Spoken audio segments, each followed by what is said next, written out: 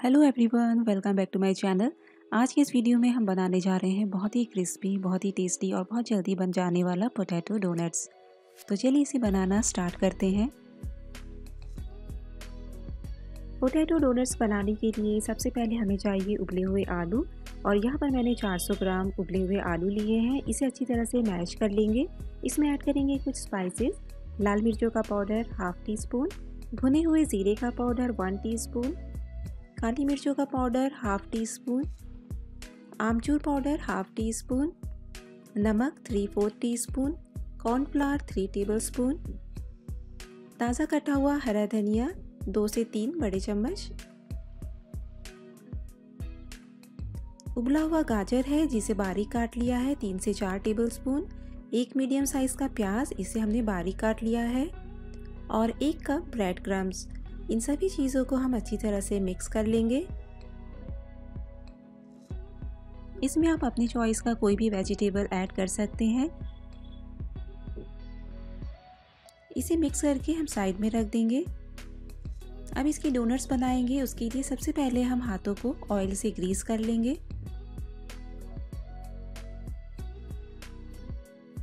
थोड़ा सा पोर्शन लेंगे हम और इसका पहले बॉल शेप बनाएँगे। उसके बाद इसे हम डोनट का शेप देंगे।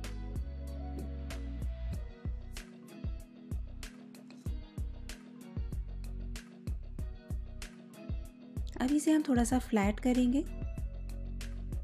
और जो भी साइड्स में क्रैक्स हैं, आप उसे फिर से लेवल कर लीजिए, उसे बराबर कर लीजिए। तो ये पहले हमने इसे टिक्की का शेप दिया है, जैसे आलू की टिक्की बनाते हैं। और बीच में अब इसे हमें डोनट की तरह बीच में इसको होल देना है। तो इस तरह से आप फिंगर से या किसी और चीज़ से आप इसको बीच में डोनट का शेप देंगे।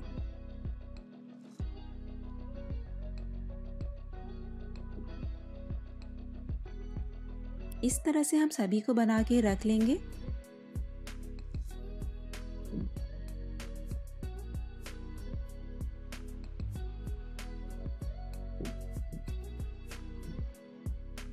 और यहाँ पर मैंने सभी डोनट्स बना लिए हैं और आप देख सकते हैं कि ये बन के बिल्कुल रेडी है। अब इसकी हमें कोटिंग तैयार करनी है तो इसके लिए हमने एक बोल में लिया है। टू टेबल स्पून मैदा, थोड़ा सा नमक ऐड करेंगे और one four teaspoon red chilli powder लाल मिर्चों का पाउडर ऐड करेंगे और इसमें हम थोड़ा थोड़ा करके पानी डालेंगे और एक पेस्ट बना लेंगे। थोड़ा सा पतला ही पेस्ट बनाएँगे।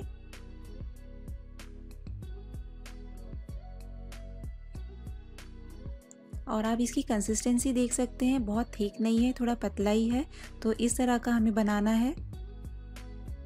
और यहाँ पर अलग से हमें ब्रेड क्रम्स चाहिए इसको कोट करने के लिए। तो सबसे पहले हम डोनट्स को डिप करेंगे बैटर में और इसे ब्रेड क्रम्स से अच्छी तरह से कोट कर लेंगे।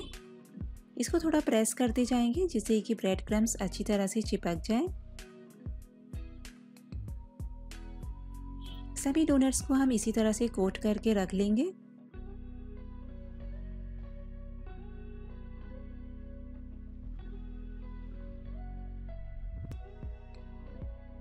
इन सभी डोनट्स को हमने कोटिंग कर लिया है और अब इसे डीप फ्राई करेंगे। डीप फ्राई करने के लिए हमें मीडियम हॉट ऑयल चाहिए।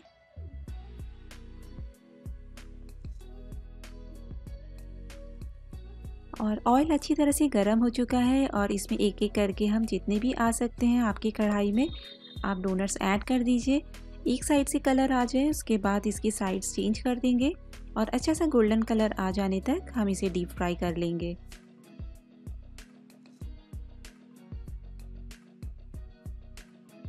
गैस का फ्लेम हमें मीडियम रखना है। मीडियम फ्लेम पर ही हमें इसे फ्राई करना है।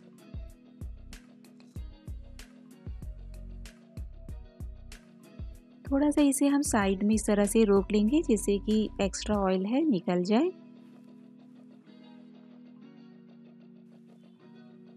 और इसे आप सर्व कर सकते हैं अपनी किसी भी फेवरेट डिप के साथ। आप टोमेटो केचप या हरा धनिया की चटनी के साथ भी आप सर्व कर सकते हैं, बहुत ही डिलीशियस लगते हैं।